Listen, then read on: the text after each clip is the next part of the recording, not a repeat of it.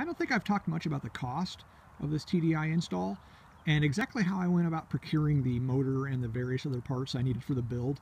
I've had quite a few people ask me how much it cost and, and how I did all that.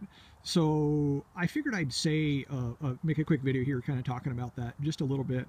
Um, what people really like is, is the cost of this. When I, when I tell them how much it costs, they, they, they get pretty excited because uh, I, I think I, I got a, a steal on all this stuff. I, did, I think I did this pretty well. Uh, this cost about 3,500 bucks.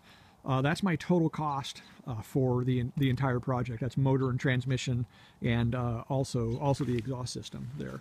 Uh, so I think that's that's pretty good. This is an 83 factory diesel.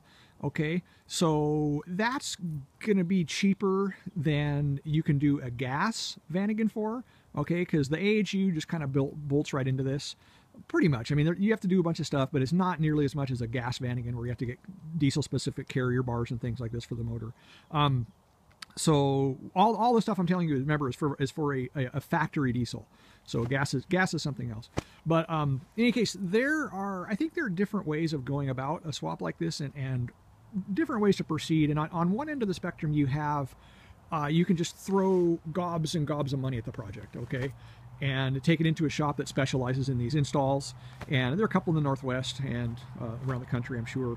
And it's great. You just give it to them and you know come back a while later, a couple months later, and they give you back a sweet turnkey and hopefully reliable conversion. And that's that's super.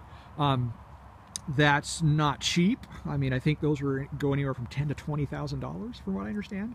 So not cheap, and uh, and for a reason. I mean, there's there's a lot of work involved. So you know they're not going to give that away. I mean that's that's going to cost you. Um, one thing about that I don't like is is that just giving it to somebody else to do is that you lose out on a valuable part of, of the well you lose out on the experience. Let's say that on the knowledge, okay, that you gain from uh, doing your own install. So when you do your own install, do your own build, you learn the ins and outs of the whole entire system, every nut and bolt on that that machine. Okay, and that just cannot be overstated how important that is. I think to me, knowing knowing your vehicle, that's just huge. The the, the experience you gain from doing it yourself. So, uh, yeah, I think you lose out on that if you go the go the the big money, have somebody else do it route. Um, on the other end of the spectrum is the do-it-yourself guy. Okay, and that's that's where I am. Okay, and if you go that that route, you that involves getting a donor car. Okay, uh, a donor Jetta, and I believe the Passats had a TDI. I think they have an A. They had an AHU. I'm, I'm pretty sure. I'm not sure. Um, not totally sure on that one. But um, yeah, that involves getting a donor car. Okay. And I, I, think the shops, I'm pretty sure the conversion shops, you know, the they they end up doing some uh, using some donor car parts, if not entire donor cars. I would imagine that's how they do it too. I don't think they source everything from the dealership themselves either. So um, that's that's the, the, kind of the budget way to go and the traditional way to go is to get a donor car. Okay, and you can find those on Craigslist. Okay, you can get donor jet donor Jettas on Craigslist anywhere from in a minute I'll tell you how much I got mine for and you're you're, you're gonna love it. It's great. But you usually see those for I don't know a thousand bucks to uh, to twenty five hundred for running TDI Jettas. Okay, with AHUs in them in the late 90s. So uh, they're out there and they're they're pretty cheap. Um, but the question is when you go that route is uh, I, I, think you're faced the big question is you're faced with the high mileage of those vehicles. Okay so anything in that vintage and in that price range is gonna be you know I, the ones i saw were all 250000 miles plus. Okay 250000 300000 and that was okay with me. I was fine with with that. Um, and let me tell you why. Um, when you do one of these conversions, the hard work, all the hard work is in getting that motor swapped in there and getting the install done and getting the conversion done. Okay, that's the tough part. All right. So if the way I would, the way I looked at it is if I were going to swap in a, let's say a 300,000 mile motor out of a, out of a Jetta, out of a running TDI Jetta. Okay. And I were going to put that 300,000 mile motor in here. Um, if that, after doing all the hard work and putting it in, if that motor were to conk out down the road, and mind you, these motors are real tough. You know, I think if a guy were to put a high mileage motor in one of these, I think he'd be pretty surprised by the life, you know, he would get out of that. I think he'd get a lot of utility out of that. Okay, so the, the point is, after the hard work is all done, if you were to put one of those motors in there and that conked out however long down the road, uh, it's really easy just to then buy a new long block at that point and swap that motor in there. You know, R&R a motor, you know, swapping a motor, that takes a day, you know, if you get after it. So that's no big deal. So I was willing to extract the life, you know, as much life as I could out of, out of a high mileage motor. Um, the thing is, I couldn't find one, you know, so uh, the, in the window when I was looking, I found no running donor Jettas. Okay, so it was really odd, and I, I got pretty discouraged, but uh, I did find something. Uh, Kirk at Northwesty in Seattle had a AHU long block sitting in his shop, okay, that he said he had uh, lots of confidence in. He believed in it, and that was good enough for me because he's a he's a great guy and he has a great reputation. So I bought that motor and I put it in, and of course it runs beautifully. Uh, excellent power, no smoke, starts instantly, runs beautifully. So I, I did really well on that. Okay, so that was my long block. And then if you know what a long block is, that's just a motor sitting by itself with none of the peripherals. And that's where your donor Jetta comes in. Okay? Getting your donor Jetta is is as much for getting that the motor itself as for getting all the other stuff that goes along with it. So let me show you. Okay? So that's you need this is this is the long block. Okay? That's the motor itself right there. Okay, but what about all the other stuff? Okay, all the peripherals. Okay, you got a million brackets and clips and bolts and who knows what. Okay, just so much stuff. You got the alternator bracket, the alternator, the oil cooler, the oil filter housing, the upper timing cover, the, few, uh, the injection pump bracket, uh, the this breather tube here, your injector lines, your injectors, glow plugs, on and on and on. Uh, the turbo, okay, is eight or nine hundred bucks by itself.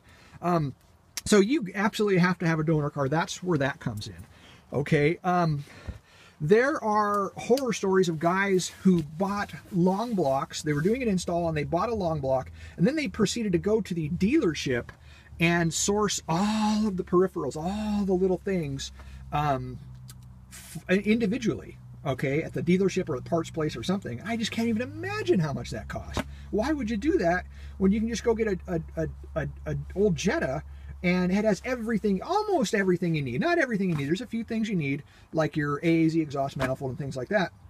But uh, that's just that's the way to go is to get it, get your donor Jetta. That is the formula. Okay, so get a donor Jetta. If that has a good motor in it, a good long block in it, uh, then use that. If it doesn't, go and source a, a, a, new long block if you have to. But but getting the donor car is is the way to go. Um, the costs that uh, I'll, let me break down the cost for you, okay, that I paid. I paid 800 bucks for that long block from Northwesty from Kirk, and I paid $300 for my donor Jetta. Killer. Okay, it had a bad motor, it was a piece of crap sitting out in the field, and um, I scored that thing. Um, I ended up selling the seats to a guy on Craigslist for like 50 bucks.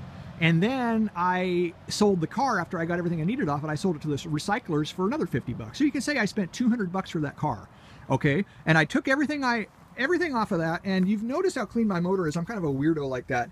I took every peripheral nut and bolt and and piece of hardware off of this individually took it out and polished the hell out of it and cleaned it and made sure it was in outstanding working order. So maybe you know nobody else people aren't other people aren't going to go to that length but i mean that's what i did and, and i think in the interest of thoroughness that's a good idea to do that. Um, but in any case so i spent let's say $200 for that motor okay and uh, so what are we at? 800 plus 200, we're at 1,000 bucks. And then you have another expense. Mind you, this is a this is an MTDI build. Okay, that's mechanical TDI. Go look at my MTDI pump video and I talk more about that. But uh, that since I decided to go MTDI instead of go with the electronic uh, system that was that came with a you know uh, car from the factory, uh, that was an extra expense.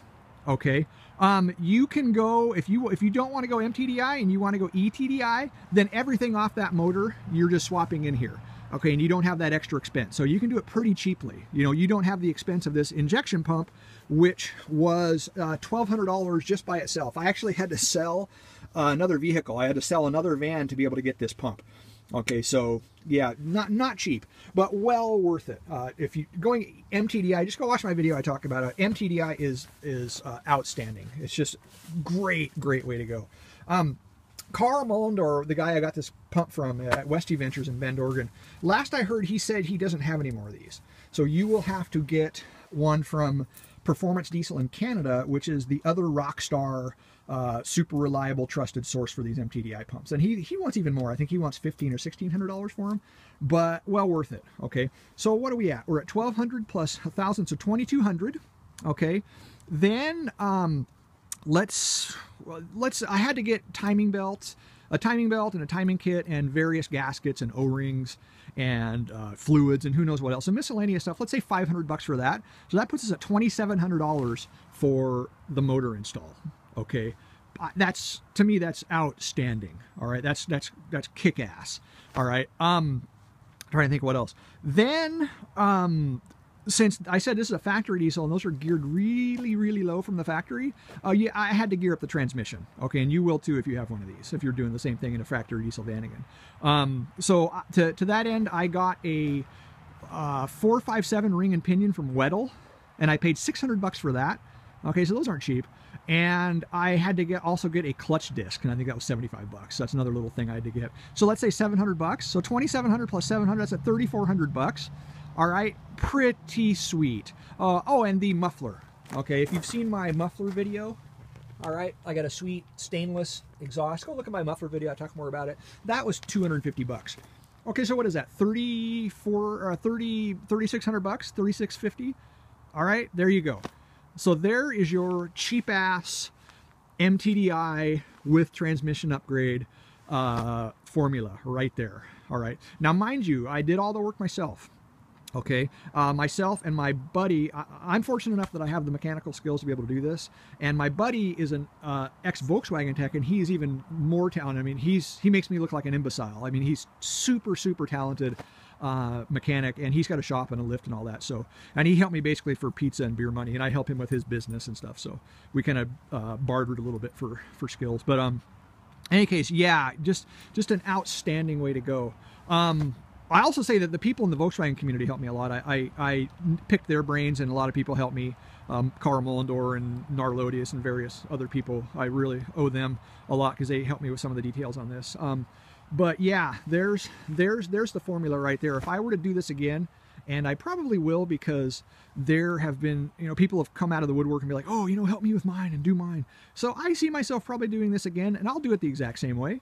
Um, I will oh, actually. I'll, what I'll probably do is I'll probably get a uh, fresh long block. I'll get a new new long block for them, a remanufactured long block, uh, just the, for the sake of thoroughness since it's going to be for somebody else. And then uh, a donor Jetta. I'll scour Craigslist and find a donor Jetta for all the peripherals, and I'll do the exact same thing.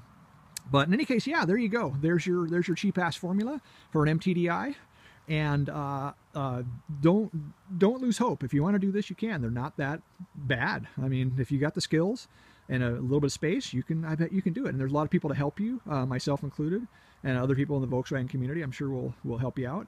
Uh, so uh, as far as I'm concerned, you can ask away. As always, you can ask me any questions and I'll, I'll try to help you guys out. But um, there it is right there.